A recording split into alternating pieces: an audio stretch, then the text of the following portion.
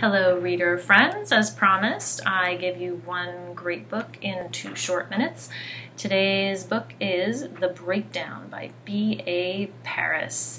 And this is definitely a suspense and mystery novel. That is the genre.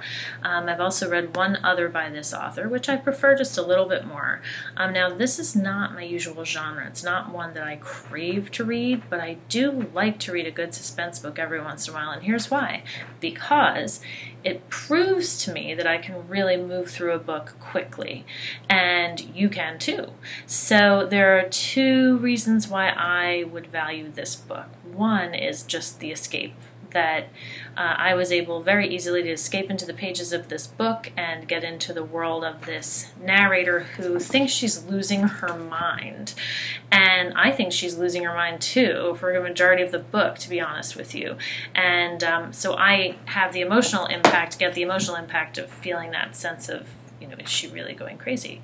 Um, and then, of course, as with any good mystery or suspense writer, there is um, the internal consistency and pulling all of these things together. So I love the way that this author drops breadcrumbs to have me guessing along the way.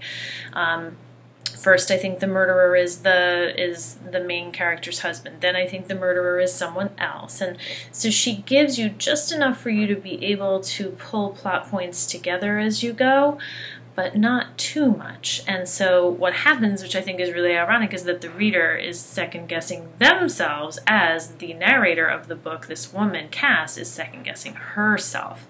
And um, so I think it's definitely worth your while. You'll be able to knock it out on the beach in a day easily, maybe two days, depending.